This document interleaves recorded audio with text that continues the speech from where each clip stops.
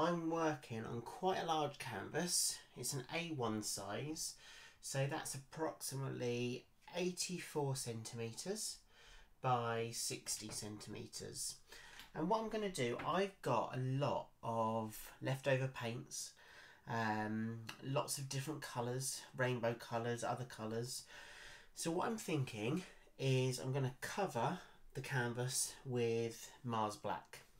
So a black base. And then I'm going to layer my colours in almost like a swirl shape. I've marked it out on my canvas just so I can so I don't forget what um, composition I'm going for. So the idea is to layer all the colours in the in the swirl shape and then I'm literally just going to blow it out like a Dutch pour just to kind of see what I can create. These are all leftover paints so everything is mixed with paint and water only.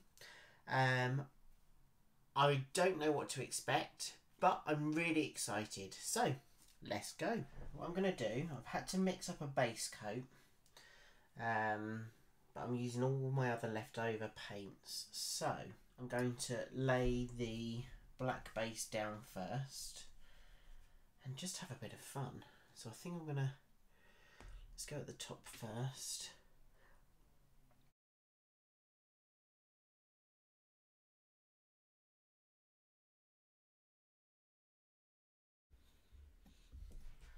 So, this is the this is the design I'm I'm going with, and I'm just going to puddle paints all the way along, blow the black in, and off we go.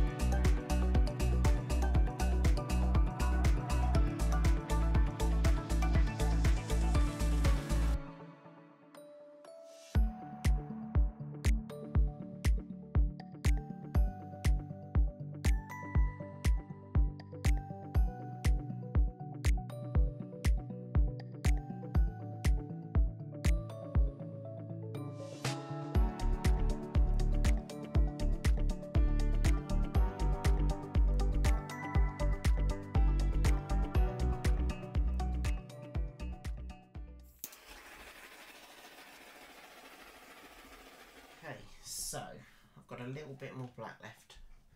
So I'm just going to go around the edge just so I can have some black to blow in. I've got the Prussian blue that side. a little bit more black. Okay.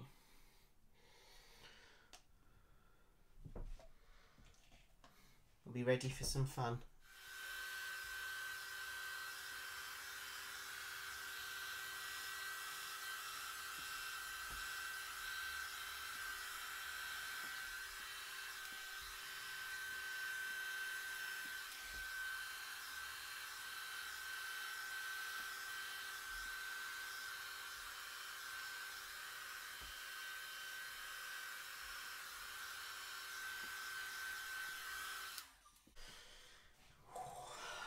Here we go. So, I think what I'm going to do first is I'm going to blow this bit out here and then come down and then pause, have a look and then carry on.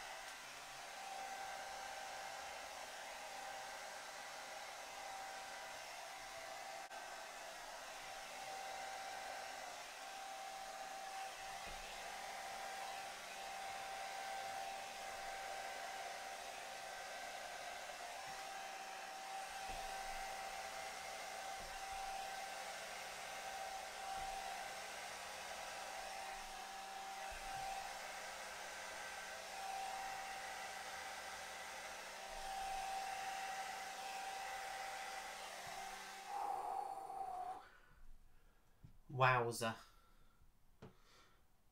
Wowzer. Woo! I'm going to take you in for a close up. Okay, so I need to touch up the sides here. But, oh my goodness. Right, apologies for the glare of the light. But look at this.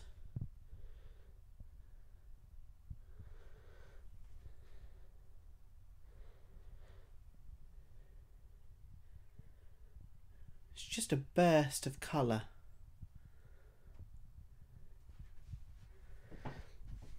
If I turn the other way, some of this colour is gorgeous.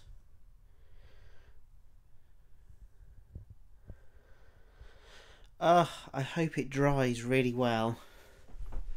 Oh, I hope it dries really, really well. Really love it. Okay, I'm going to tidy up my edges and what I'm going to do is I will take you in hopefully for a dry version look. Okay, I really didn't know how to show how amazing this piece has turned out. I'm so proud of this. Um, so this is just hanging on one of my walls just to kind of demonstrate to you the how it's dried and, and the colours but I'll just go in for a closer look. I don't, I don't know. I don't. I just hope you can see this detail and how some of those colours really pop and shine through. Just really, really gorgeous piece. I'm so, so happy with it.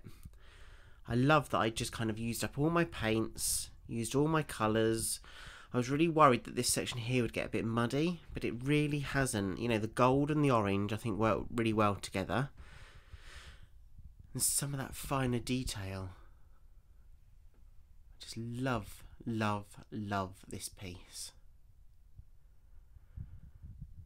What do you guys think? I really love that section up there.